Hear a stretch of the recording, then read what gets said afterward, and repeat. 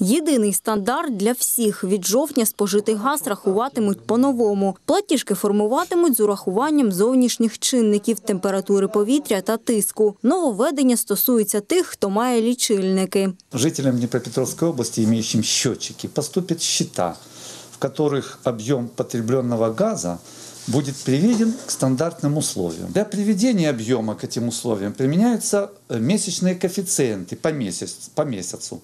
Корректировка показаний счетчиков производится в зависимости от температуры наружного воздуха и размещения, ну, это по каждому региону Украины они утверждены. В теплое э, время года он коэффициент меньше, в холодное время он будет чуть больше.